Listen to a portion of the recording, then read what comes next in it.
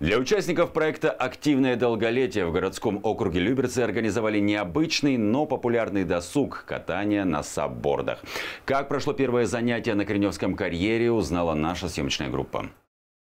Это жаркое лето представители серебряного возраста проводят весело, используя для здоровья. Сегодня по плану водные процедуры, но в их распоряжении не бассейн, а целый карьер. С самого утра группа собралась, чтобы освоить новый вид спорта – сапсерфинг. Сегодня у нас организовано мероприятие по активному долголетию. Губернатор Московской области Андреем Юрьевичем Воробьевым был запущен проект по саббордам для активного долголетия. В прошлом году также это мероприятие у нас было. В этом году это уже повторно. И Наши долголеты очень довольны, им очень нравится кататься на сапах. Они такие очень заряженные, выходят жизнерадостные, они у нас очень спортивные. Для занятий сапсерфингом нужны доска, весло и спасательный жилет. На воде сапы устойчивы, безопасны и просты в использовании. Такой вид спорта развивает баланс и тренирует вестибулярный аппарат. Мне очень понравилось.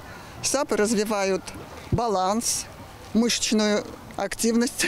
Вода вообще успокаивает. Встать тяжело, а грести и потом уже легко. Изначально тяжело только. Ты вроде бы и физически занимаешься, и на улице, и активность, и спокойствие, и все работает. Я бы с удовольствием ходила. Как-то пробовала, но это одно из очень лучших. Здесь, во-первых, мои ровесники, друзья.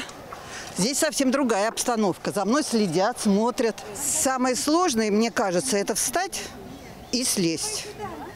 А когда уже баланс поймали, можно плыть и плыть и плыть и плыть. Мне не страшно, я вообще ничего не боюсь. В последнее время сапсерфинг стал одним из самых популярных видов пляжного отдыха. Занятия для участников клуба «Активное долголетие» проходят по понедельникам и четвергам на Кореневском карьере. Анастасия Кладинова, Петр Пономаренко, телеканал ЛРТ.